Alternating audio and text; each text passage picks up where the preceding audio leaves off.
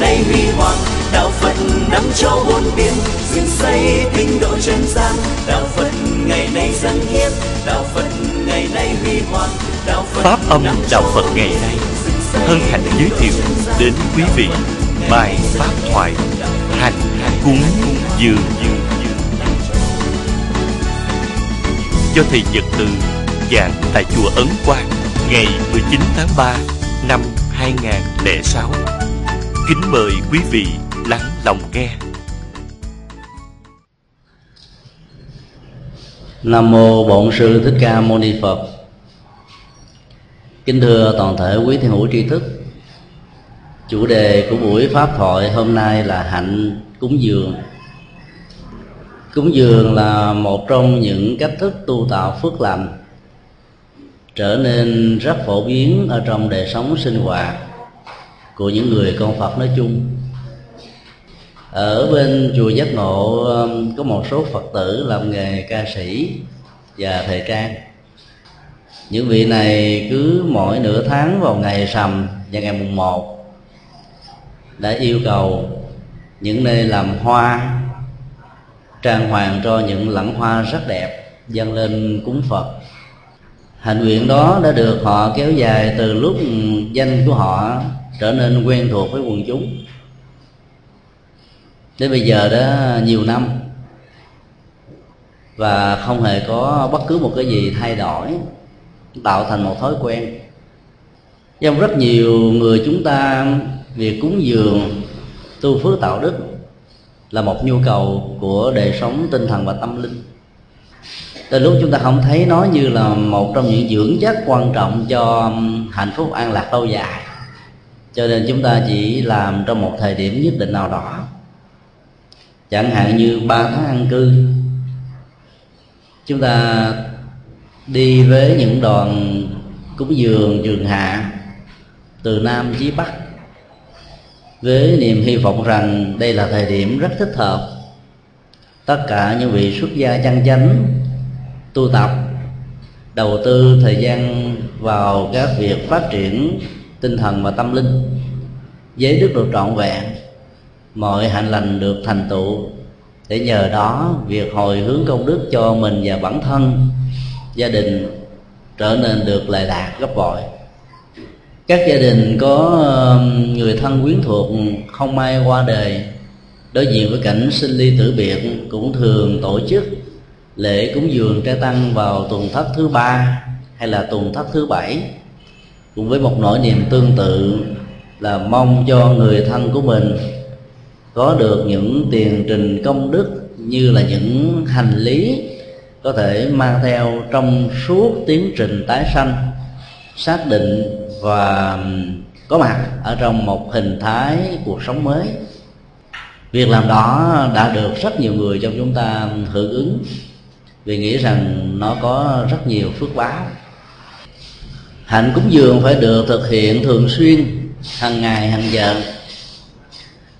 Có một số phật tử đã có thói quen dung trồng những đức lành cúng dường để trở thành như một hạnh nguyện tu tập. Chẳng hạn như ngày nào cũng lên đứng trước bàn phật thắp ba nén hương với tất cả lòng chí thành chí kính rồi à, có người dân cúng cho ngài những lẵng hoa đẹp, các trái cây rất sang trọng, hay là những nơi đơn giản hơn, thiếu phương tiện hơn, thì cúng dường ngài bằng ba ly nước rất trong sạch. Và sau khi cúng, sử dụng nước đó để uống, với niềm hân hoan mong mỏi rằng phước lực nó sẽ được gia tăng. Đó cũng là hạnh cúng dường vì được lặp đi lặp lại nhiều lần một cách có ý thức khi chúng ta đối diện trước như lai thế tôn và muốn tạo ra một góc không gian tâm linh nho nhỏ ở trong sinh hoạt hàng ngày và trong máy ấm gia đình của mình. Loại hình cúng dường còn có thể được thể hiện qua nhiều góc độ khác nhau. Chẳng hạn như in kinh ấn tống là một hình thức cúng dường chánh pháp, chia sẻ những giá trị tinh thần cao siêu quyền diệu của như lai thế tôn đến với những người hữu duyên công việc in kinh ấn tống giá trị lệ lạc về phương diện tâm linh và đạo đức. Có thể cao và lớn gấp nhiều lần so với việc chu cấp hoặc là các hạnh bố thí thông thường. Bởi vì giúp đỡ cho cuộc đời một chén cơm manh áo, họ có thể ấm được một ngày, no được một buổi. Nhưng sau đó rồi, nếu tinh thần không được vững chãi đạo đức không được lành mạnh, các giá trị tâm linh nó không được gieo trồng, thì nỗi khổ niềm đau về phương diện cảm xúc và nhận thức vẫn tiếp tục đeo đuổi con người. Do đó, việc cúng dường in kinh ấn tống dưới các hình thái khác nhau là một trong những cửa ngõ à, chu cấp thêm thực phẩm tinh thần cho những người đang có nhu cầu bồi dưỡng đời sống tâm linh của mình cúng dường kinh điển lại ít được người hưởng ứng hơn. Là dạng cúng dường về tứ vật dụng như y phục, thức ăn, thức uống, sàn tọa và dược liệu dành cho những người xuất gia. Hoặc là, đối với các loại hình từ thiện chung chung phần lớn người phật tử dễ hưởng ứng. Ví dụ, nếu từ thiện đó được thể hiện qua dưới hình thái các phần quà có ờ, khối lượng, có chiều kích. Mỗi lần dân tặng phần quà đó cho một người khác, làm lễ kỷ niệm dưới hình ảnh của một băng video hay là dưới những bức tranh được thể hiện. Người cúng dường cảm thấy hân hoan, hạnh phúc hơn vì thấy nó có cái gì đó lớn, tạo ra sự trân trọng. Còn cúng dường những cái thuộc về tinh thần ít ai biết đến và hình thái, hình thức của nó cũng không có. Cho nên phần lớn rất nhiều người trong chúng ta không có ưa chuộng hình thái đó. Việc xây dựng một ngôi chùa, mở cơ hội, gieo trồng những hạt giống tâm linh là một trong những nhu cầu gắn liền với đời sống sinh hoạt của tất cả những người xuất gia và những người tại gia. Mái chùa đã từng được quan niệm như là cái cơ sở văn hóa nền tảng đạo đức và tàn cây tâm linh rợp che bóng mát cho cả hồn dân tộc. Bởi vì đã từng có trong giai đoạn lịch sử, dân tộc Việt Nam, tổ tiên Việt Nam, con người Việt Nam đã thấy được các chất liệu đó của nhà chùa. Cho nên nó đã trở thành trung tâm văn hóa giáo dục sinh hoạt, nói chung là nơi có thể cung ứng vừa cả giá trị vật chất và vừa cả những giá trị tinh thần và tâm linh. Do đó, việc góp phần công đức tu tạo một ngôi chùa thường được rất nhiều người trong chúng ta hưởng ứng. Không gian tâm linh trong một ngôi chùa lớn là bởi vì nó tích tụ được các tần số tâm linh và những hội tụ tâm linh của rất nhiều các vị tổ sư chân tu, thạc đức giao hưởng tâm linh đó đã mở ra một không gian rất thư thái, nhẹ nhàng, thảnh thơi. Mặc dầu có rất nhiều ngôi chùa, không gian cũng nhỏ, giống như một căn nhà bình thường, thậm chí còn nhỏ hơn những nhà villa của những người sang trọng giàu có. Những người phật tử ở những ngôi nhà sang trọng đó vẫn có một nhu cầu cần thiết nào đó.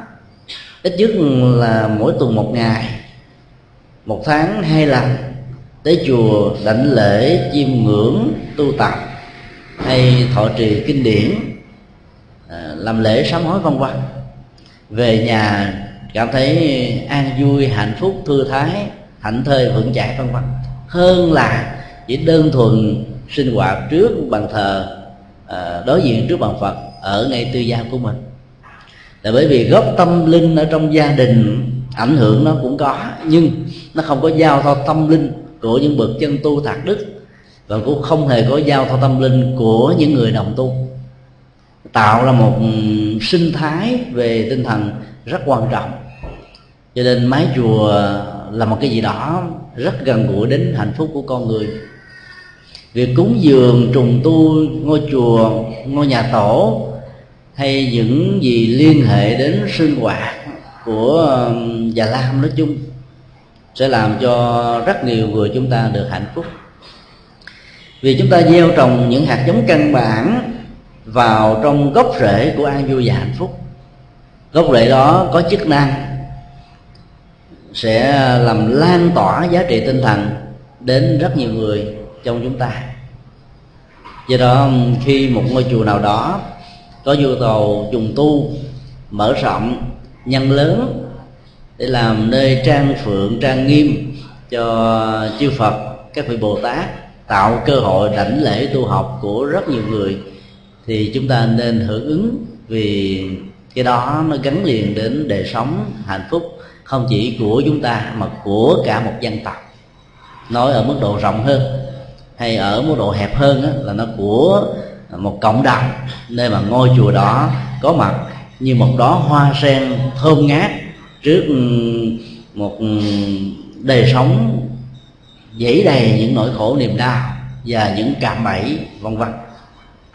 Nói như vậy để chúng ta thấy là việc ừ, tạo ra hạnh nguyện cúng dường đa dạng và phong phú, chỉ cần chúng ta có tấm lòng, chọn hình thức nào thích ứng nhất với mình để mình có thể phát huy, để mình có thể dấn thân và gieo trồng phước báo, tạo công đức ngôi chùa ấn quang trước đây đã từng là trung tâm phật học đường nam việt, là trụ sở của giáo hội phật giáo việt nam thống nhất, là nơi hội tụ tinh hoa tâm linh của rất nhiều bậc thầy. Và hiện tại nó cũng là trung tâm của phật giáo tại thành phố hồ chí minh. Chính vì thế mà cái nhu cầu trùng tu lệ tổ đường là một nhu cầu lớn lắm vì khi tổ đường được hưng thịnh, chúng ta sẽ có cơ hội biết được hạnh nguyện, sự dấn thân, phục vụ và đóng góp của những bậc tổ đức đi trước. Trên nền tảng đó, chúng ta có thể rút ra được những bài học rất có ý nghĩa cho đời sống và sinh hoạt hàng ngày của mình. Do đó, khi có cơ hội, cố gắng làm. Vấn đề quản trị về tài chánh của những người tại gia được đức phật khuyến tấn trong kinh là chia cái tài khoản đó ra làm bốn phần. Một phần chi tiêu hàng ngày, một phần hiếu thảo mẹ cha, một phần để trừ, để dành trong ngân hàng, phòng họa hoạn bệnh tật về sau. Và phần cuối cùng làm cho các công tác từ thiện được nở hoa kết trái.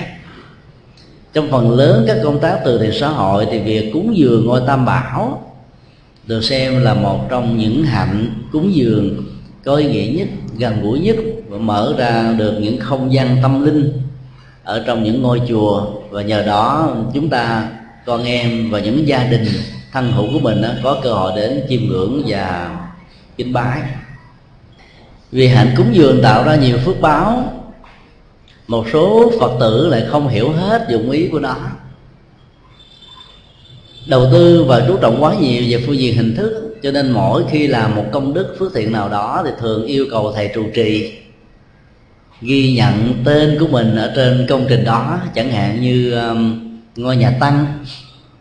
Để tên của người phát tâm cúng ở uh, cái cửa ra vào hoặc là ở cái góc cột chính hoặc ở nơi nào có thể bác tánh đi ngang qua nhìn thấy việc làm như vậy dĩ nhiên lúc đầu nó sẽ mang ý nghĩa xã hội rất lớn ở chỗ là những người thân hữu chúng ta, đặc biệt là những người thân thấy được rằng gia đình của mình, cha mình, mẹ mình, thân nhân, bà con của mình nói chung là phát tâm hiến cúng cái ngôi nhà tàn đó để mỗi lần có dịp trở về chùa, lòng chúng ta trở nên hân hoan, vui vẻ, cảm thấy rất nhẹ nhàng và thảnh thơi vì sau này à, hình thái đó đã được mở rộng ra ở những cách thức cúng dường mà nó không đáng để phải lưu giữ lại.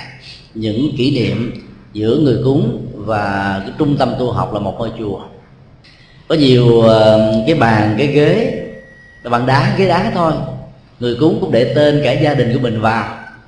Và nếu để ý, chúng ta thấy luôn cả địa chỉ như một hình thái, đây là một loại à, quảng cáo vậy đó mà cái cái ghế cái bàn đó thực ra giá trị không bao nhiêu khoảng chừng à, vài trăm ngàn đồng để trong khuôn viên của một ngôi chùa à, có thể sử dụng mấy mươi năm. Nếu mà chúng ta tính là chúng ta đăng một cái quảng quảng cáo ở những cái con đường trục lộ quan trọng á cho một năm như vậy ta, ta đóng rất nhiều tiền. Còn cúng một cái ghế cái bàn đá đơn giản thôi mà để luôn cái phần quảng cáo đó trong một ngôi chùa hoàn toàn miễn phí mà được người ta biết đến nữa thì rõ ràng việc làm đó ờ, chúng ta cần phải suy nghĩ lại. Chúng ta chỉ cần cúng ờ, những hình thái mà thông qua đó đó, tất cả những người đi chùa có cảm giác rằng đây là của tam bảo, của chung, để họ có thể đến thoải mái và thảnh thơi. Không cần phải ghi tên của mình vào trong những cái bàn đá, ghế đá đó. Nếu có ghi thì chúng ta ghi một câu phật ngôn nho nhỏ ở trên trển để khi mà người tới ngồi có thể có cơ hội ôm lại lời phật dạy rất có chiều sâu. Có khả năng phá vỡ nỗi khổ niềm đau đang bị tồn động trong một cảnh huống không an nào đó. Giá trị tâm linh và đạo đức của nó sẽ lớn hơn rất nhiều lần so với việc chúng ta khắc ghi tên tuổi của gia đình mình vào bên trong. Có một số ngôi chùa chúng tôi đến tham quan thì thấy các đại hồng chung to lắm mỗi lần ngân vang tiếng đại hồng chung lên, âm thanh trầm bổng du dương, quyền diệu đã làm cho tâm của con người được lắng động xuống nhẹ nhàng thảnh thơi. Tiếng chuông làm cho chúng ta cảm thấy thoải mái vô cùng. Nó như là một nhạc liệu pháp cho đời sống tinh thần và tâm linh. Khi nhìn kỹ ở cái phần đế của cái chuông á, hoặc là cái quai để treo cái chuông lên, chúng ta thường thấy tên của những người phát thâm cúng nằm ở trên trển dĩ nhiên việc làm đó không có gì là sai. Nhưng nếu chúng ta đặt nặng và chú trọng nhiều đến hình thức á, thì việc cúng dường đó đôi lúc nó trở nên mất hết ý nghĩa của nó. Chúng ta chỉ khắc ghi những câu phật ngôn tên của phật bồ tát trên quả chung để mỗi lần âm vang đó được ngăn lên đó, người ta có cơ hội đến gần tiếp xúc và nhìn thấy được những giá trị tinh thần cần thiết còn hơn là thấy tên của gia đình của mình ở trên trển có rất nhiều người à, đi hành hương, thập tự mang theo những danh sách cầu an, cầu siêu ghi sẵn. Tới ngôi chùa nào thì lấy tên của mình, bỏ vào ở trong cái chuông gia trì hoặc là dán vào trong đại hồng chung. Có người thì cố gắng nhìn nhìn thấy không có ai lén để dưới đế của đức phật á, nâng đức phật lên để dưới, nghĩ rằng là sự gia trì của chư phật và dán tên mình gắn liền với các hồng chung đó, thân tâm được thư thế mọi việc đều được thành tựu hanh thông như ý. Những nguyện ước chân thành đó là nhu cầu phản ánh về giá trị hạnh phúc con người cần có. Cái đó chúng ta giữ lại bởi vì niềm ước nguyện chính là yếu tố đẩy con người tới phía trước để thực hiện các hành vi có ý nghĩa để đạt được những giá trị hạnh phúc cho bản thân mình nhưng nếu chúng ta quá đặt nặng về hình thức như vậy thì không nên. Vào những ngày à, mùng 8 tháng giêng và rằm tháng giêng theo truyền thống của dân gian Việt Nam và Trung Hoa à, hai ngày đó được xem là hai ngày cúng à, sao hội tức là cúng sao tập thể đó cho toàn gia đình ở đầu một năm mới. Truyền thống của Phật giáo thì không có cúng sao vì đạo Phật dạy tất cả mọi người ý thức về đời sống nhân quả, đạo đức, phước báo, mình gieo trồng. Tất cả những thứ này quyết định đến vận mệnh hạnh phúc và những giá trị khác liên hệ đến đời sống của chúng ta. Các vì sao chẳng qua chỉ là những hình tinh, định tinh, có mặt và hiện hữu ở trong vũ trụ, không có liên hệ gì đến hạnh phúc và khổ đau của con người. Do những quan niệm sai lầm của người trung quốc và truyền thống đó đã được gắn liền với giá trị à, hạnh phúc và khổ đau của con người làm cho rất nhiều người chúng ta hoảng sợ. Mặc dù biết à, không hợp lệ không đúng về nhân quả vẫn cứ cúng rất nhiều ngôi chùa à, nỗ lực tháo gỡ phong tục tập quán này bằng cách đổi cái ngày đó trở thành ngày cầu an thông qua việc thọ trì bản kinh dược sư với những dược chất tâm linh với những giá trị tinh thần với những phương pháp tu tập để tháo gỡ nỗi khổ niềm đau hoặc là thọ trì bản kinh ờ, phổ môn quan thế âm nhắc nhở để cùng học hỏi hạnh nguyện hiểu biết cảm thông ban tặng tình thương đến cho người khác. Mong người khác được an vui và hạnh phúc.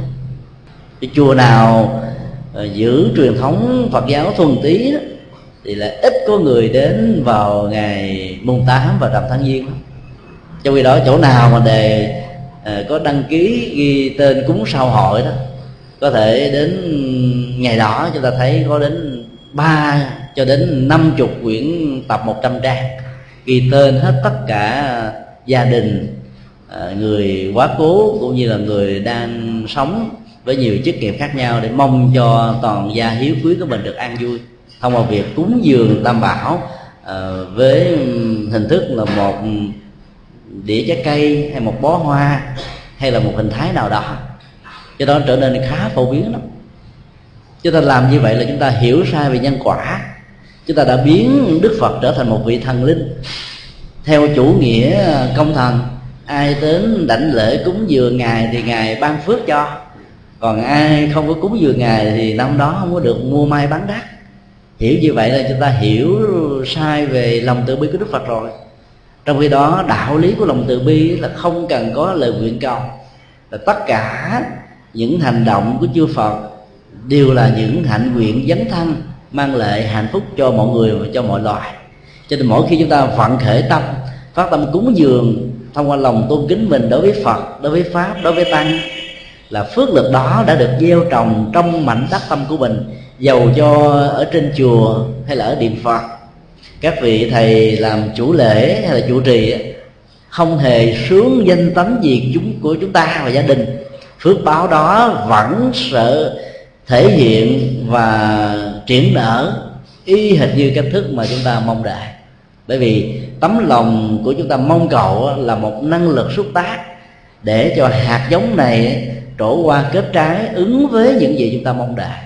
Cho nên đạo lý nhân quả có một chất liệu gắn liền với tâm con người dữ lắm. Tâm mình hướng về cái nào thì công đức đó được chuyển về cái quả báo đó.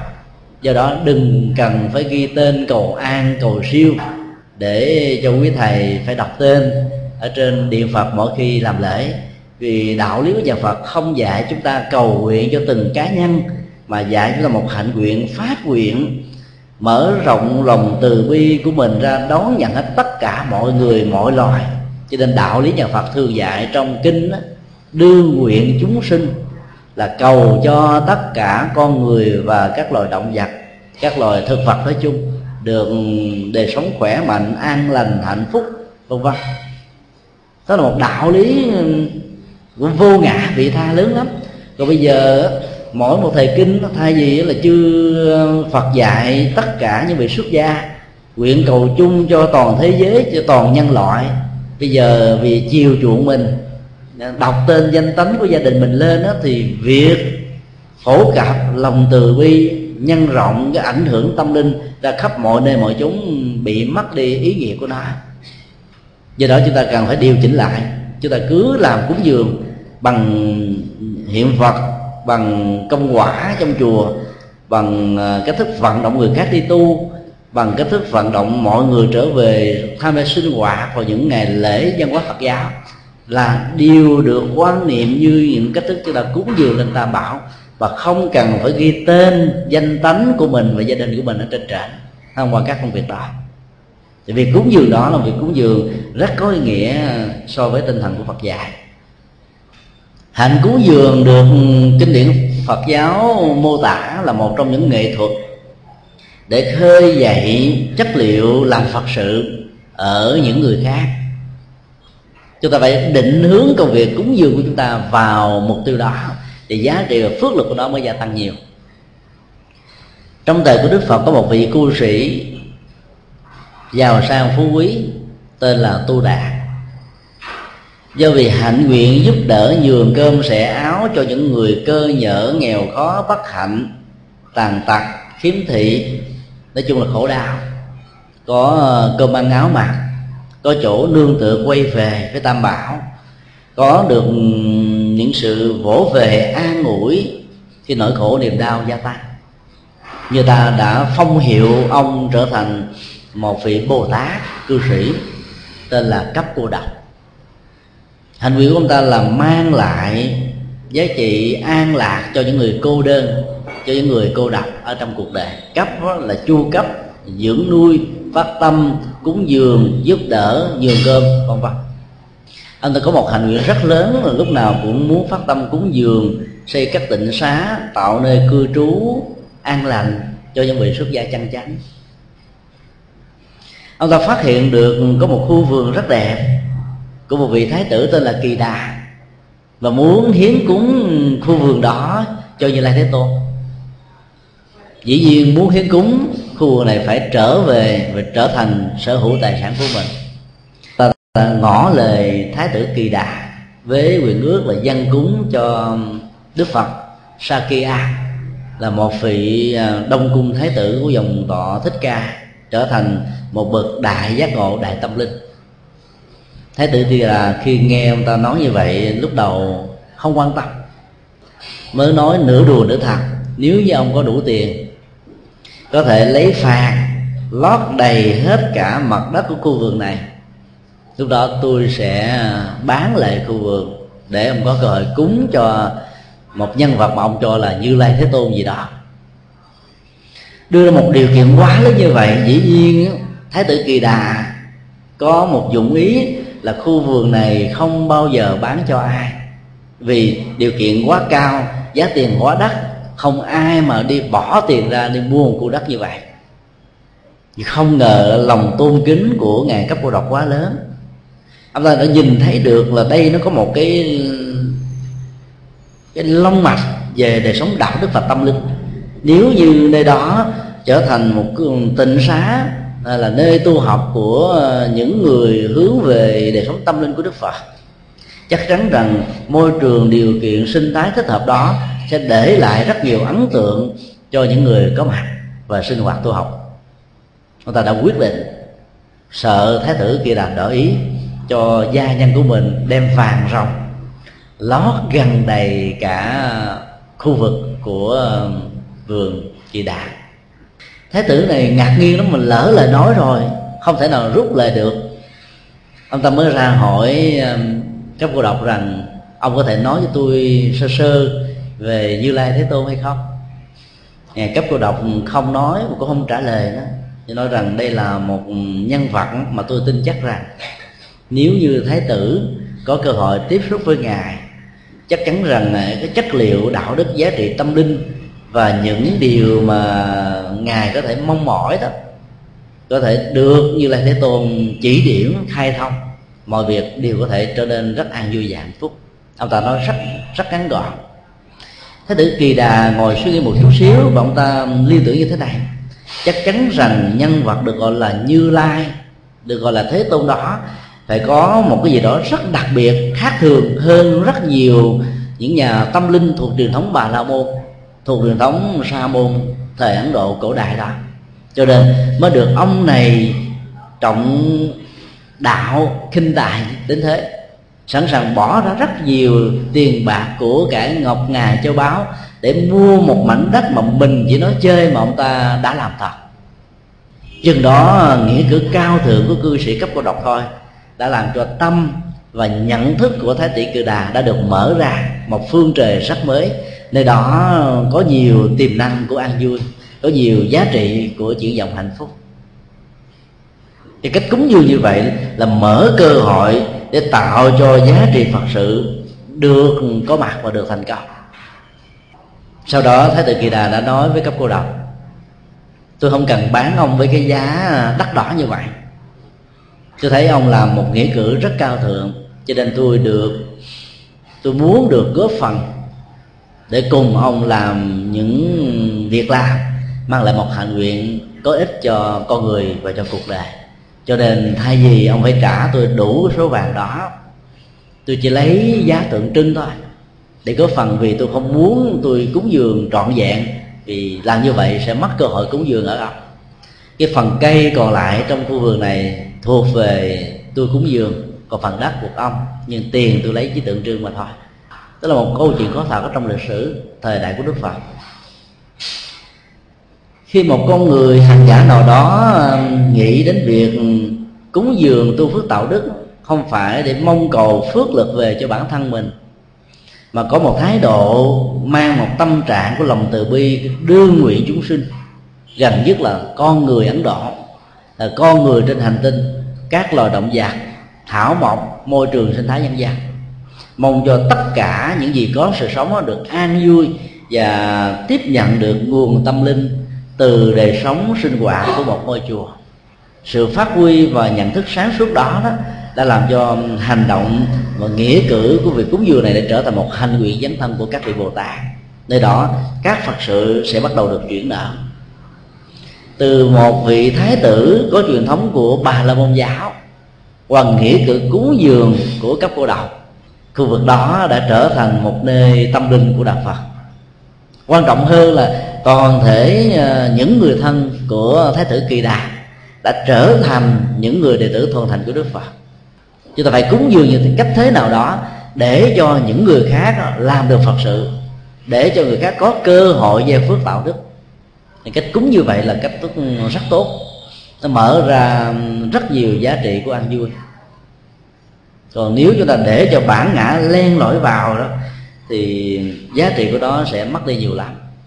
Tại hải ngoại trong mấy mươi năm gần đây thì làng sống thuyền nhân ở việt nam tìm một mảnh đất hứa mới trong một bối cảnh xã hội mà đời sống vật chất có phần khấm khá hơn ở Việt Nam, rất nhiều ngôi chùa mới đã bắt đầu được tạo dựng tại Hoa Kỳ có khoảng trên 100 ngôi chùa Việt Nam lớn và nhỏ.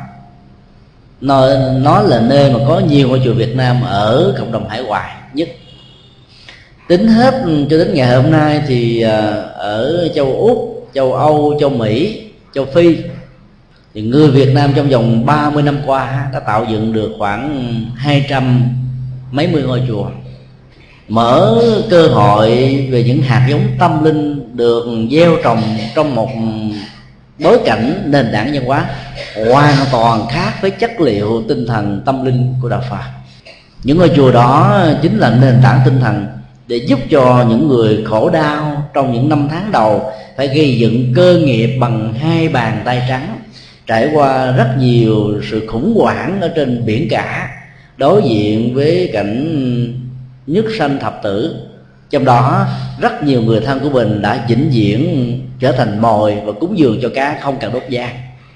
Mỗi lần ký ức và hồi tưởng về nỗi khổ niềm đau đó làm cho một số người bị khủng hoảng. Nhưng những ngôi chùa được mọc lên trong bối cảnh như thế này đã trở thành một nền tảng tinh thần lớn lắm rất quan trọng. Nhiều người phật tử trí thức có uy tín đã vận động, tạo dựng ra những ngôi chùa với hình thái thông qua sự quản lý của một quan, một ban gọi là quản sự hoặc gọi là một ban trì sự khác nhau. Ý tưởng ban đầu khi hình thành ra một cái cơ chế tổ chức để vận động quần chúng cúng dường vào ngôi chùa là tốt. Nhưng sau khi hình thành rồi đó lẽ ra theo truyền thống của phật giáo đó thì các ban quản trị và ban quản sự là những người phật tử tại gia này cần phải chuyển hết tất cả quyền điều khiển vào trong những vị xuất gia chân chánh. Vì trụ trì của một ngôi chùa không thể là một người phật tử mà phải là một nhà tâm linh một nhà đạo đức một hành giả tu tập. Rất nhiều người đã không thấy được yếu tố đó và cũng không bắt chước được việc cúng dường à, của những vị cư sĩ tại gia trong thời đại của đức phật mở ra một tiềm năng tâm linh. Chứ không phải mong rằng là mình có một vai trò vị thế nào đó trong một ngôi chùa về phương diện quản trị. Cho nên rất nhiều chư tăng và chư ni Việt Nam tại hải ngoại sau một thời gian làm đạo ở rất nhiều ngôi chùa thuộc về ban quản lý người cư sĩ đó, có nhiều mâu thuẫn bắt đầu phát sinh. Rất nhiều câu chuyện đã được kể về việc va chạm mâu thuẫn giữa những vị xuất gia được thỉnh mời về làm chủ trì, tượng trưng, còn ban quản sư và ban quản sự đó đã trở thành những người điều phối quyết định chính sách tu học của một ngôi chùa. Từ đó, hai cái điểm mới đã bắt đầu có mặt ở trong nền văn hóa phương tây, đó là ban quản sư và ban trị sư ta bỏ đi cái dấu nặng thay vì ban quản sự ta gọi là ban quản sư, có nghĩa là những vị cư sĩ này là những người quản lý các nhà sư. Nhà sư nào đi đúng theo khuynh hướng của mình thì mình để ở lại làm chủ trì. Còn không có đúng và có quần chúng ảnh hưởng tôi nói mạnh chút xíu à, có thể à, không thích hợp, mời đi nơi khác. Cho nên người ta đã đổi hai từ đó thành ban quản sư và ban trị sư, chứ không phải là trị sự. Những điều đó là những điều rất đáng nuối tiếc vì việc điều khiển sinh hoạt một ngôi chùa phải thuộc về hạnh nguyện tu học của những vị xuất gia. Chúng ta làm xong một công việc rất quan trọng là tạo dựng ra một không gian tâm linh.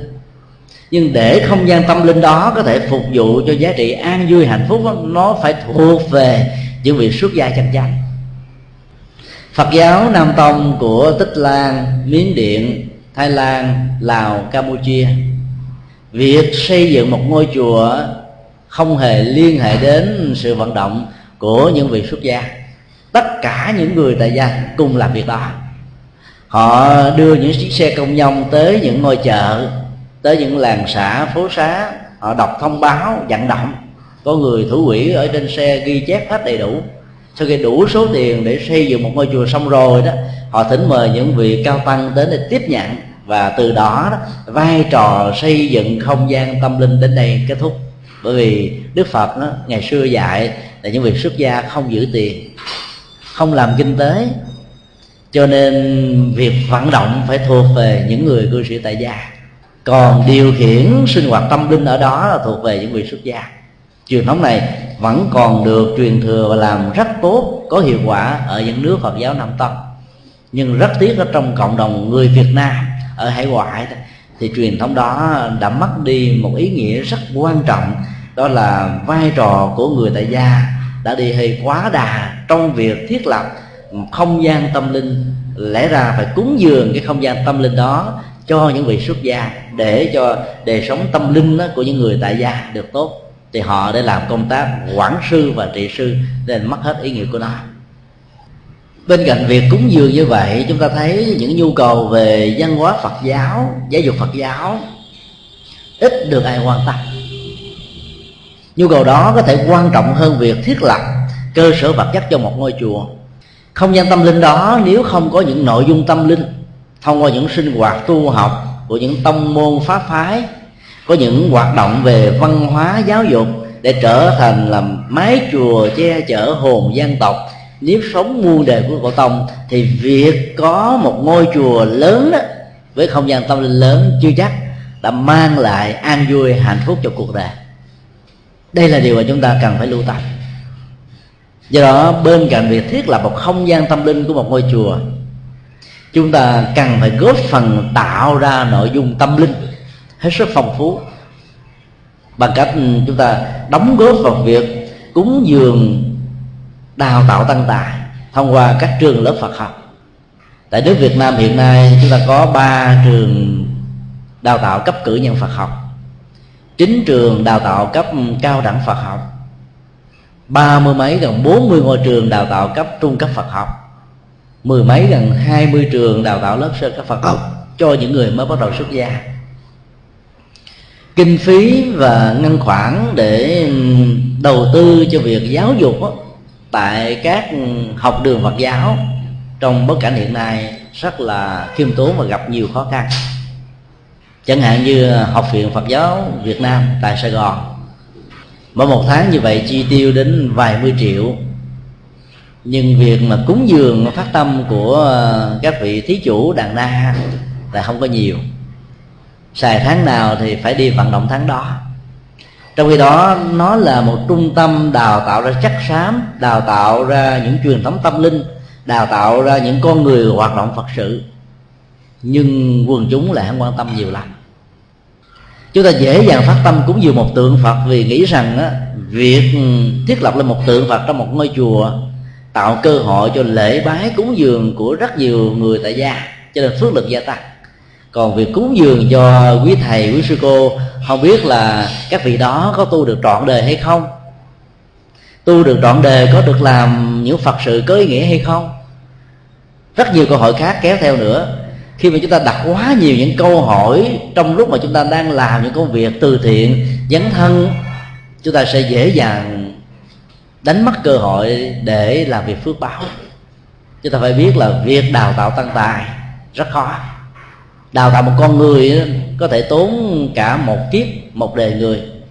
Thì việc đào tạo ra những vị tâm linh đó cái nhu cầu và sự chăm sóc của nó phải lớn hơn nữa cho nên nghĩ được như vậy thì chúng ta đừng có nản lòng thất chí và cần phải đầu tư vào những hoạt động giáo dục hoàn pháp, tu tập của những vị xuất gia. Cho nên chúng ta cần phải hưởng ứng những hoạt động đó. Chứ bằng không á, giáo hội phật giáo, dầu là dưới chính thể nào, dầu là dưới hình thái nào, sẽ không có đủ tài chính để đầu tư cho một chương trình giáo dục rất có chất lượng nhờ, nhờ đó về sau này khi ra làm đạo đó người tại gia có thể tiếp nhận được những giá trị tâm linh của sự tu học mà trong suốt mấy mươi năm ngồi dưới mái trường Phật học đầu tư vừa học vừa tu vừa trải nghiệm vừa ứng dụng những gì Phật dạy có được những cơ hội thuận lợi cần thiết nhất của nó. Chúng ta cần phải phát tâm đầu tư như vậy thì giá trị của việc cúng dường nó mới có thể lớn và lâu dài và do đó ngôi chùa tâm linh với một không gian tâm linh mới này sẽ có rất nhiều nội dung tâm linh. Thông qua sự tu học đến nơi đến chốn của quý thầy và quý sư cô. Chế độ sinh hoạt tu học ở trong các ngôi chùa rất khiêm tốn. Những ngôi chùa có đời sống tương đối thoải mái chẳng hạn như ờ, chùa giác ngộ của chúng tôi. Ăn uống tương đối đầy đủ so với rất nhiều ngôi chùa khác đó, tại sài gòn và các tỉnh mỗi một ngày như vậy đó, từ thầy chủ trì cho đến tất cả những vị thầy còn lại chỉ tiêu thụ tiền thực phẩm có 5.000 đồng. Rất đơn giản phải không một ngôi chùa 34 người, ăn một ngày ba cử, rất giản đơn. Chỉ có 150 ngàn tiền chợ thôi. Những ngôi chùa khác còn ít hơn nữa. Các phương tiện cho sự tu học trở nên rất thiếu thốn hầu như là các ngôi chùa của Phật giáo Việt Nam á, không có được một thư viện Phật học cần thiết cho sự tu học của những người xuất gia và những người tại gia. Cái thư viện đó không có chỉ có những vị trụ trì những vị thầy gắn liền với truyền thống học và làm phật sự đó thì có mua thêm những quyển sách phật học cần thiết để tham khảo. Còn phần lớn các ngôi chùa không có. Chúng ta vào các ngôi chùa lớn tại sài gòn hay là những ngôi chùa tại huế, hà nội có bao nhiêu ngôi chùa có được một bộ đại tạng kinh bằng chữ việt? Vì số tiền để mua một bộ đại tạng kinh đó lên đến năm bảy triệu đồng. Mà năm bảy triệu đồng đâu phải dễ tìm, dễ kiếm. Khó lắm, phương tiện rất thiếu thốn.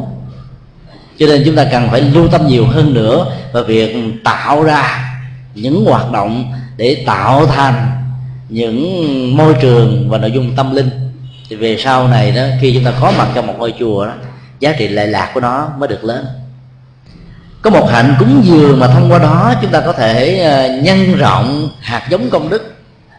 Từ một trở thành hai, từ hai trở thành bốn bốn trở thành tám tám thành mười sáu mười sáu trở thành sáu mươi bốn theo cấp số cộng và cấp số nhân. Dĩ nhiên chúng ta phải ờ, trở thành những ảo thuật gia để làm việc đó. Chúng ta chỉ cần có tấm lòng và hiểu biết thì việc đó có thể trở thành một hiện thực.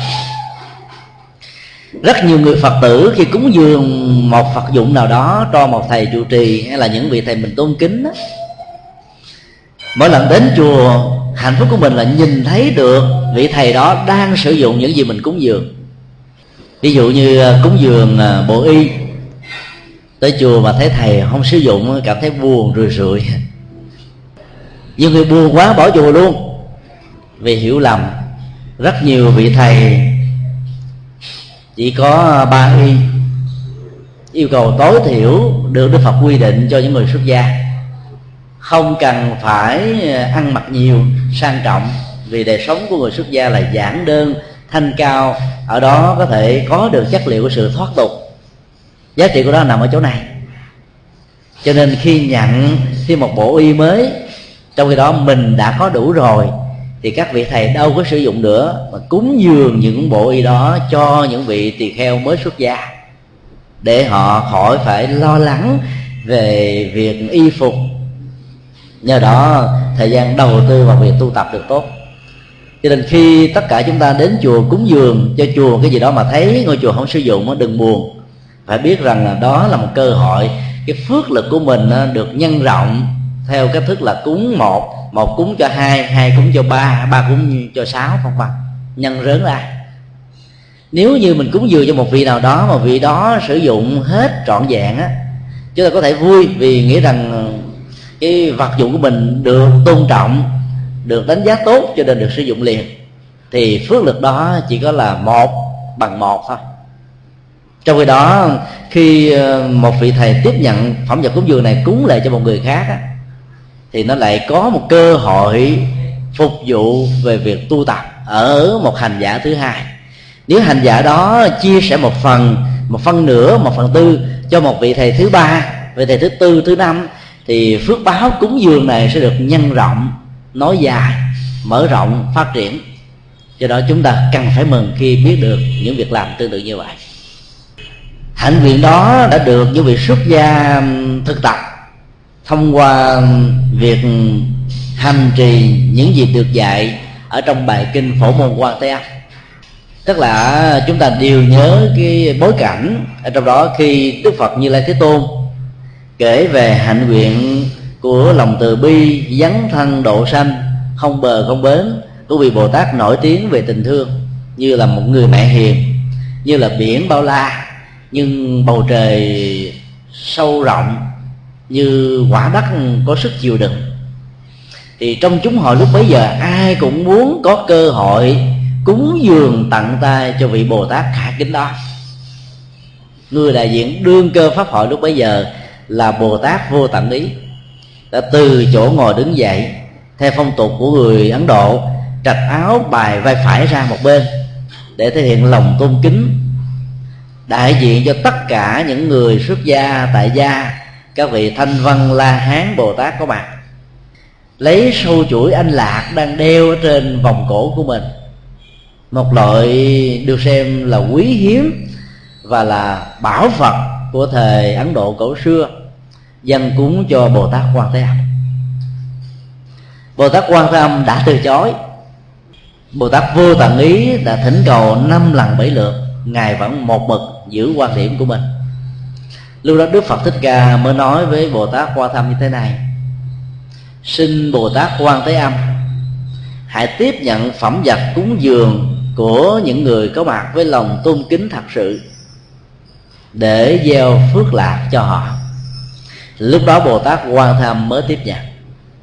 Tiếp nhận xong rồi, một nghĩa cử rất cao đẹp mà chúng ta có thể học được.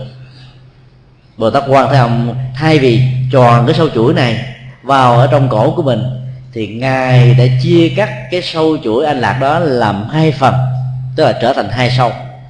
Một sâu á, gồm có 54 hạt dân cúng cho đức phật thích ca mâu ni một vị khai sáng ra đạo phật lịch sử. Và một sâu chuỗi năm bốn hạt còn lại dân cúng cho đức phật đa bảo. Nghĩa cử đó rất đẹp rất hay rất ấn tượng. Dĩ nhiên là lúc đó kinh không nói tất cả các cử tọa có mặt cho những tràng vỗ tay quan hô. Nhưng chúng ta phải biết rằng là cái cái bối cảnh của đời sống hạnh cúng dường đó đã mở ra một tiềm năng tâm linh rất lớn, tạo ra một tiến trình của các hạt giống phước báo ngày càng lớn, xanh soi nảy nở qua cái nhìn đứng đắn của một vị bồ tát nổi tiếng về lòng từ bi và tự giác. Đó là cách nhân hạt giống cúng dường trở thành phổ cập ở nhiều nơi và nhiều chốn. Và do đó, phước lực của người phát tâm cúng dường sẽ được mở rộng và nâng cao. Tỷ lệ thuận hoàn toàn với chiều sâu tâm linh của người tiếp nhận biết cách cúng dường lại cho những bậc khả kính đáng cúng hơn là bản thân mình. Cách cúng dường đó là một cách cúng dường hoàn toàn mang chất liệu và yếu tố của vô ngã vị tha. Rất đáng kính, rất đáng quý để hiểu được câu chuyện đó chúng ta cần phải giải mã một số uh, tên gọi ở trong ngữ cảnh này. Tại sao vị bồ tát đó mang tên là bồ tát vô tận ý? Ý tưởng như là một kho tàng tâm linh vô giá không cùng tặng không có biên giới không bị giới hạn. Khi một con người phát tâm là một nguồn hạnh nguyện cúng dường nào đó gắn liền với một cái tiềm năng không gian vô cùng tặng đó đó, thì chắc chắn rằng cái quả phước báo của việc cúng dường này mới có thể phổ cập ở mọi nơi mọi chốn được. Danh hiệu đó là một công án rất lớn để chúng ta tư duy. Phải làm thế nào để cho tâm của người cúng dường trong lúc thực thi một việc cúng dường phải mang một chiều kích tâm linh như là biển rộng trời cao, như không gian không bờ bến cái đó được hiểu với nghĩa là vô tận ý. Ai cũng có thể trở thành một vị bồ tát vô tận ý với ý nghĩa vừa nêu. Chỉ cần một điều là tâm chúng ta trong việc cúng dường đừng thiết lập những mối quan hệ riêng tư với người được cúng dường. Rất nhiều người phật tử khi cúng dường cho một vị xuất gia, mong rằng ờ, mình thiết lập một tình thân. Nhận vị xuất gia đó trở thành con nuôi, em nuôi, anh nuôi chú nuôi, cô nuôi gì nuôi, nhiều lắm. Nhiều người đã không hiểu được đạo lý nhà phật, cho nên ứng xử một cách ừ, rất là phàm tục đã làm cho ý nghĩa của việc cúng dường đã mất đi hết những giá trị cần thiết của nó. Truyền thống của những người xuất gia là từ bỏ gia đình, quyến thuộc và những người thân. Để biến cái tình cảm của ờ, trai gái, cái tình cảm của gia đình trở thành một cái tình từ bi trước nhất đối với đồng loại và kế tiếp nữa mở rộng đối với tất cả muôn loài. Đừng để cho cái tình từ bi của những vị xuất gia đó đã bị teo hẹp lại trở thành một cái tinh thần thông qua việc cúng dường và buộc những vị xuất gia phải thừa nhận những giá trị cúng dường của mình. Cái đó nó tạo ra thêm rất nhiều sợi dây xích, nó tạo riêng rất nhiều sự ràng buộc và phiền toái về sau này. Không nên mà phải phát tâm bằng một thái độ vô tận ý. Mong rằng là việc cúng dường đó thông qua một vị tâm linh này ờ, giá trị tâm linh của nhà Phật sẽ được gieo trồng ở mọi nơi mọi chốn. Chúng ta hạnh phúc, chúng ta cảm thấy mình bình an khi nhìn thấy hạt giống cúng dường của mình đó được người tiếp nhận nó bằng một tâm vô tận ý. Muốn như vậy thì người cúng dường phải khởi tâm vô tận ý trước hình ảnh thứ hai mà chúng ta cần phải giải mã đó đây là danh hiệu của hai đức phật. Đức phật thích ca và đức phật đa bảo như lai. Đức phật bảo nhiều, báo phật nhiều. Toàn bộ những vị xuất gia đều theo ba đề chư phật. Ba đề chư phật là không có tài sản, không có tiền bạc, không có của cải. Tại sao danh hiệu của như lai thế tôn này là đa bảo, là một kho tàng bảo vật chúng ta phải suy nghĩ. Đức phật đa bảo được xem là đức phật quá khứ. Quá khứ được hiểu và lý giải trong ngữ cảnh này là tiềm năng tâm linh. Những tiềm năng tâm linh đó là một phận quà của an vui, một phận mỏ của hạnh phúc, một cái hoàng của kim cương ngọc ngà trí tuệ sâu xa. Đó là cái quặng phật tính đang nằm có sẵn ở trong mảnh đất tâm, ở trong quả địa cầu tâm của mỗi con người làm thế nào để cho cái quặng vàng tâm linh kim cương đó trở thành những trang sức phẩm phục vụ cho nhu cầu đời sống hàng ngày của chúng ta? Nó phải liên hệ đến cách khai thác mỏ, cách điều chế các quặng vàng quặng ngọc ngà, châu báu trở thành những sản phẩm trang sức. Cho đó gắn liền đến hạnh nguyện của đức phật thích ca lịch sử.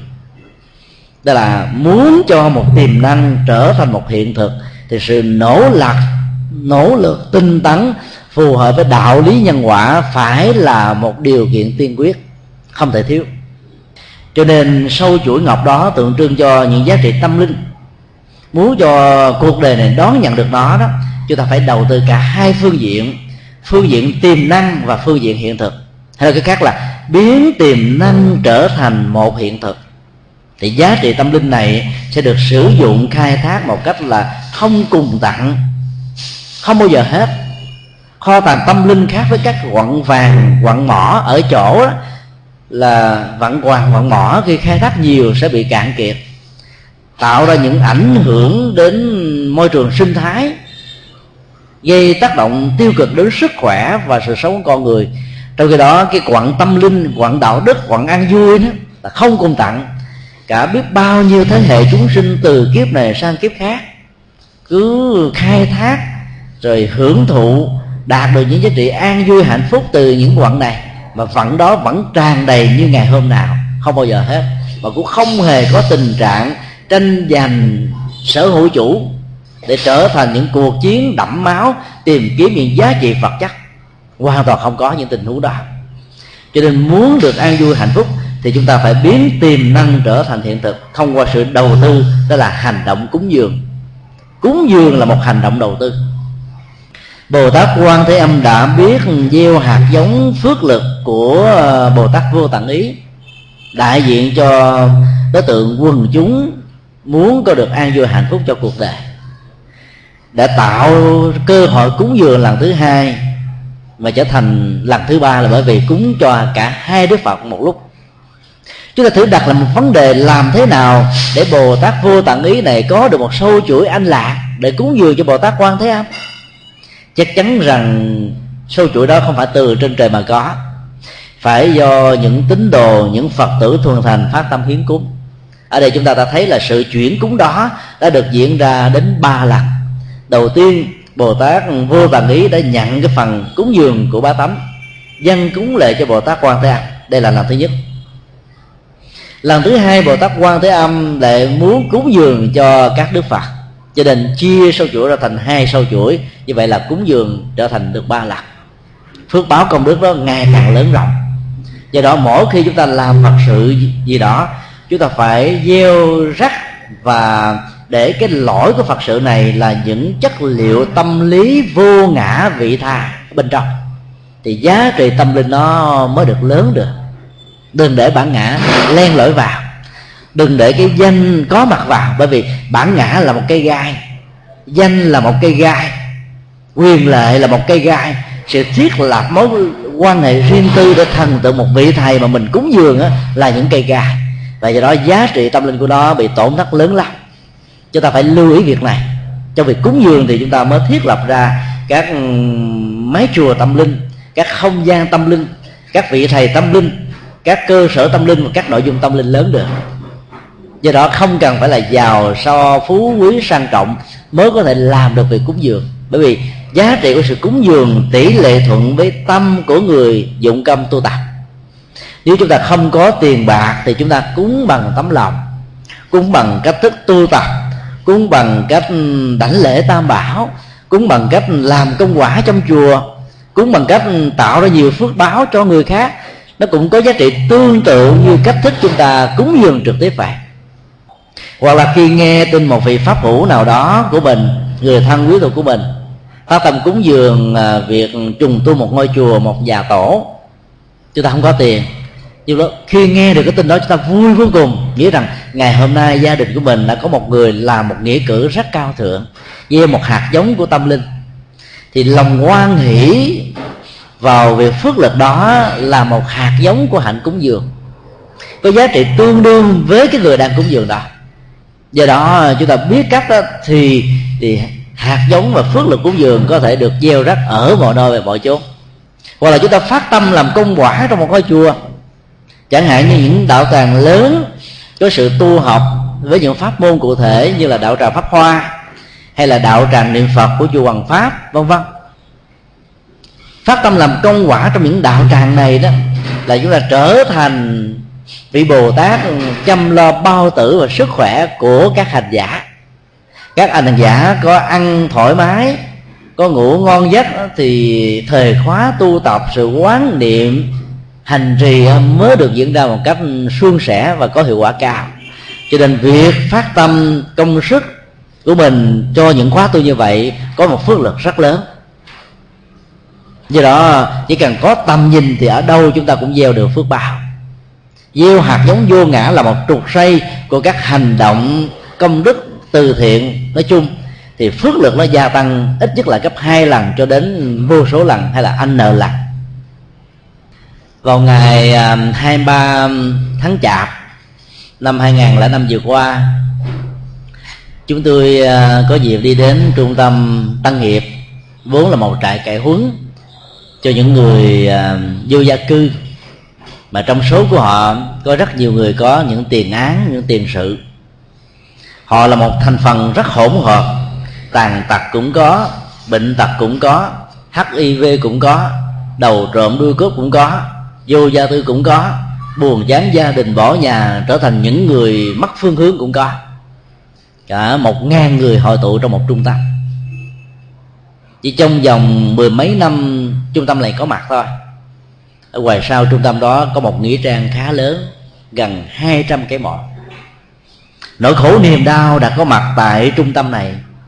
Thông qua bệnh tật dẫn đến cái chết của rất nhiều người vì thiếu phương tiện. Chúng tôi có được cơ hội tốt ừ, gắn liền với trung tâm đó trong gần một năm qua. Thông qua việc đi tới chia sẻ uh, sở hữu vật chất của những người phật tử mà mình thân quen mời gọi họ phát tâm cúng dường. Còn công việc của mình đến đó là để chia sẻ những bài pháp thoại những giáo lý căn bản của đức phật để cho họ chuyển hóa được nội tâm. Bớt đi sự buồn chán cô đơn quạnh quẻ. Sau một thời gian một năm nghe pháp như vậy mỗi tháng một lần ờ, tình trạng đại bằng xanh đại bằng đỏ đại bằng đen đã không còn nữa. Tình trạng sanh nặng trong việc chấp tác lao vụ được trung tâm phân công á, đã không còn nữa. Họ đã xem nhau như những người thân, những người ừ, của một đại gia đình. Chúng tôi đã thiết lập được ờ, một ban hộ niệm trong trung tâm này, để mỗi khi có một người nào đó hấp hối vì việc đi thỉnh mời quý thầy, phải đi đến vài chục cây số mà chưa chắc có cơ hội được trung tâm cho phép rời khỏi phạm vi. Cho nên họ ờ, đều có những sâu chuỗi trên tay, có được một ảnh phật nhỏ để đeo trên cổ mỗi khi có người nào bệnh tật mà thấy không qua khỏi được hay là bị bệnh mà cần đến sự hỗ trợ tinh thần của nhiều người trại viên á, thì họ sẽ đến chia sẻ. Họ ca những bài ca niệm phật rất hay. Họ có được nỗi hân hoan hạnh phúc khi sống trong một tập thể mà chất liệu đạo pháp chất liệu tâm linh của nhà phật đã thiết lập được ở đây. Cho nên cái trại tù đó trại cây huấn đó đã trở thành một không gian tâm linh mới chúng ta cần phải thiết lập nhiều trung tâm như vậy. Dĩ nhiên để làm thế nào cho họ phát khởi được cái tâm cúng dường đó, là chuyện khó vô cùng bởi vì họ đang cần sự giúp đỡ về chén cơm manh áo phương tiện của đời sống sinh hoạt. Làm sao họ có thể cúng dường được? Hôm đó chúng tôi đi với một đoàn từ thiện khác. Đoàn từ thiện này người trưởng đoàn đã yêu cầu cái phần mà cúng cho họ đó mỗi người 35 ngàn thì xin mỗi trại viên á, dành lại 10 ngàn đồng để lấy cái số tiền đó cúng lệ cho những cái trung tâm khác. Neo đơn nghèo khó hoạn quẻ ít người ít đồng đến chăm sóc hơn.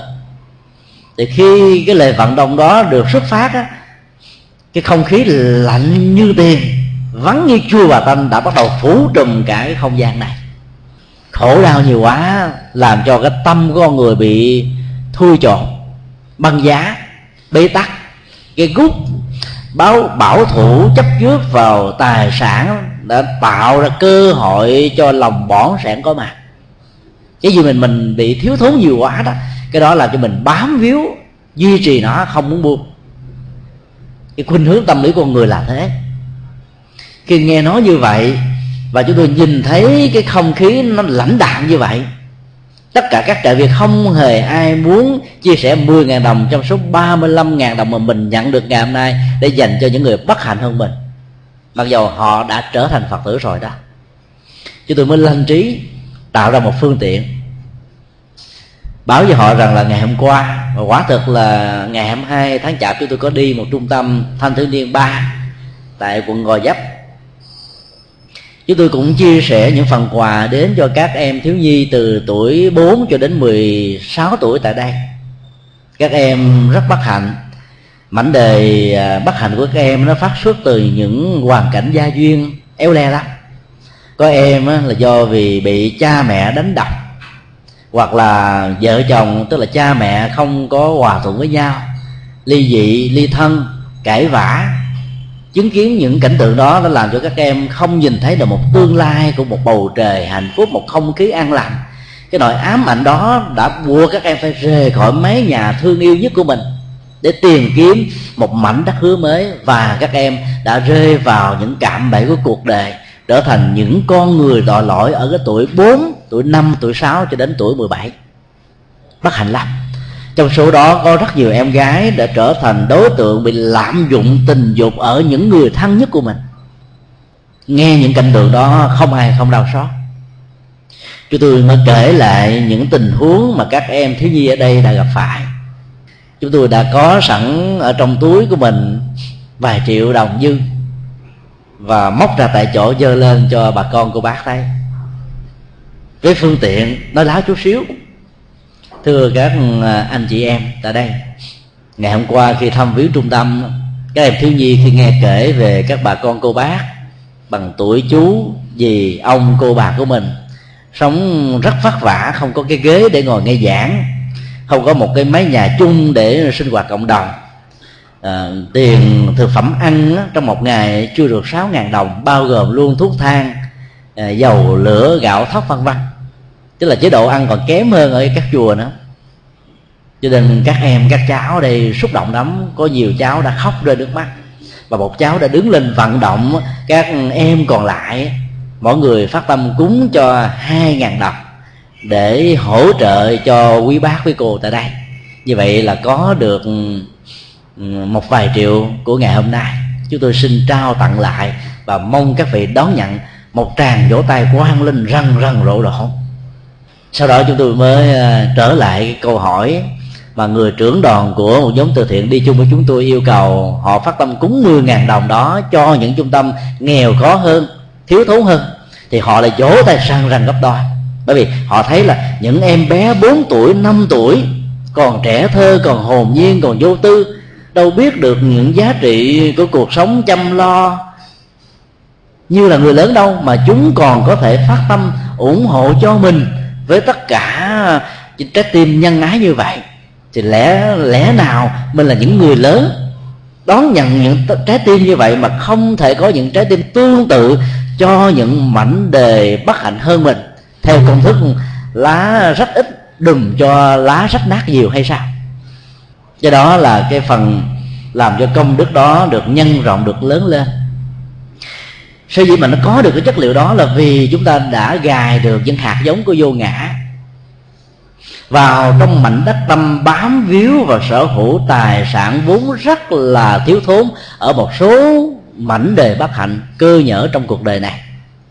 Chúng ta đã cho họ thấy được rằng là những em trẻ thơ hồn nhiên kia còn có được tấm lòng.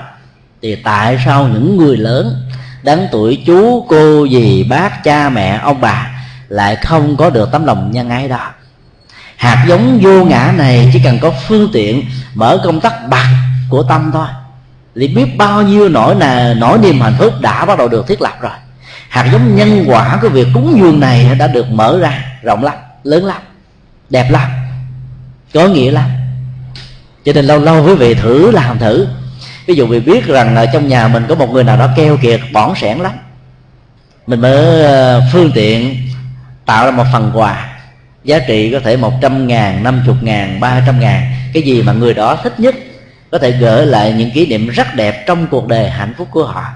Chúng ta mua phần quà đó rồi gửi cho những cái trung tâm du lịch những uh, cái chỗ ờ, chuyên môn phát quà giao quà đến tận nơi hoặc là bưu điện vân vân. Chúng ta nói một người nào đó đã từng có một quan hệ không tốt với người này hay là đã có những cái gút về nỗi khổ, niềm đau với nhau tức là để tên chính người đó để tặng biếu cho người thân nhất trong nhà mà mình biết được. Dĩ nhiên khi tiếp nhận phần quà này, người ta phải dơ lên coi tên của người gửi là ai, ở đâu. Thấy tên của người đó đầu tiên hơi phiền não hơi cao có, hơi khó chịu chút xíu. Xé ra coi trong đây là cái gì, có phải là quả lựu đạn không? Có phải là cái chả đũa không? Có phải là một cách chơi để làm cho mình khổ đau nhiều hơn không? Thấy một phần quà mà mình rất thích, rất vui, rất ấn tượng.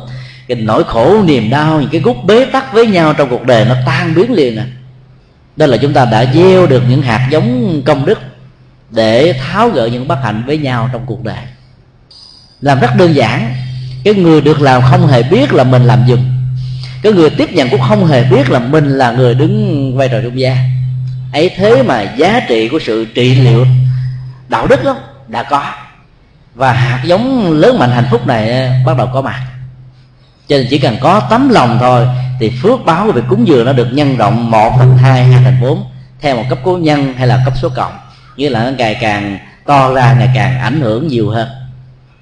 Thì ngày hôm nay khi uh, chúng tôi um, trình bày chia sẻ về hạnh cúng dường chúng tôi nói một vài góc độ ứng dụng của nó đặt trên nền tảng của tâm và nhận thức sáng suốt của ờ, tinh thần vô ngã vị tha. Mở rộng tấm lòng của mình dưới góc độ của sự phát nguyện thay vì là cầu nguyện cho bản thân, cho gia đình, cho bản, cho con người của mình. Chúng ta thay thế nó bằng một đối tượng lớn hơn, rộng hơn, có ý nghĩa hơn. Thì việc cúng dường này sẽ mang lại phúc lạc rất lớn, rất to mong sao cho tất cả mọi người phật tử khi phát tâm cúng dường không cần phải ghi tên cầu an, cầu siêu. Có cầu thì chúng ta cầu trong tâm. Và mong vị thầy tiếp nhận cái phần cúng dường đó đó, liên tưởng để cầu siêu cho những người mà mình muốn hồi hướng công đức về. Thậm chí quý vị không cần phải nói tên người đó ra là ai.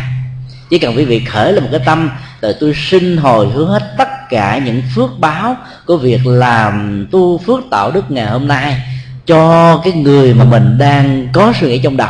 Và mong vị thầy tiếp nhận đó, có sự hồi hướng tương tự, mặc dù vị thầy đó không biết người đó là người nào. Thì phước lực này vẫn đến được với người cần tiếp nhận. Dĩ nhiên, quy luật nhân quả chúng ta không thể không nhớ đến. Trong kinh địa tạng đức phật nói, trong phần cúng dường tu phước tạo đức này đó người gieo hạt giống với lòng phát tâm sẽ hưởng 6 phần 7 người được hồi hướng công đức tiếp nhận được có một phần duy nhất mà thôi, trong bảy phần.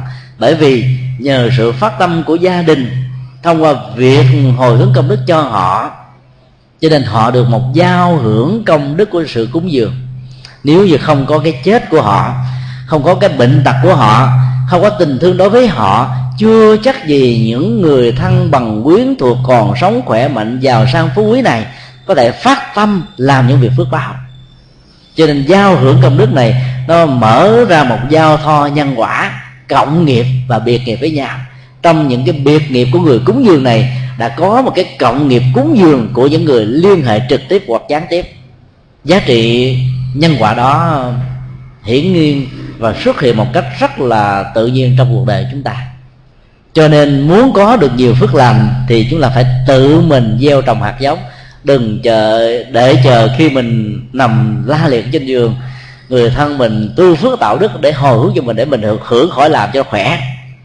Thì vĩnh viễn mình không có khỏe lâu dài được lâu, vì mình đang tiếp nhận những trợ cấp công đức của người thân. Cái gì trợ cấp, cái đó lâu lâu mới có một lần, không có hoài, không bền bỉ đâu. Phải tự tạo ra những cái nguồn vốn công đức để mình có thể tự bàn tay với tấm lòng nhân ái từ bi của mình, trợ cấp cho những mảnh đề bất hạnh khác, thì sự chủ động này với lòng phát tâm mới làm cho công đức đó được triển nở ở một mức độ lớn hơn và phước báo đó mang lại hạnh phúc cho mình được an lạc lâu dài hơn. À, kính chúc toàn thể à, quý phật tử được an vui và gieo trồng nhiều hạnh cúng dường với nhiều hình thái với nhiều điều kiện và với nhiều cái cơ sở mà mình có thể làm được theo cách thức riêng của mình.